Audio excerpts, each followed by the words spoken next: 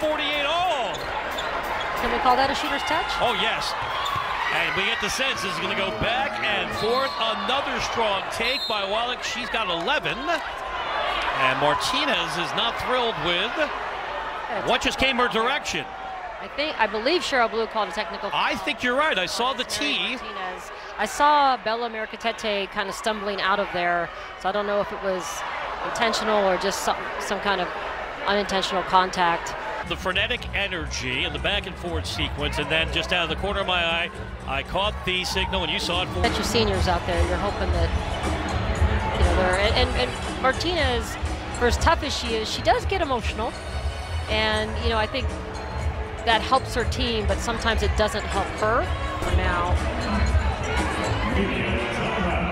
So, oh. Oh, that'll get you a T. You saw the shove with the officiating crew now at the table reviewing the video.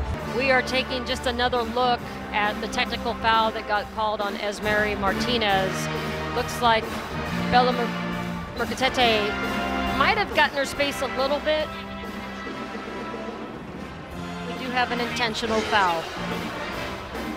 So we do have, officials just came over to the table. We do have an intentional foul on Esmery Martinez. So it'll be two free throws and Washington State's ball.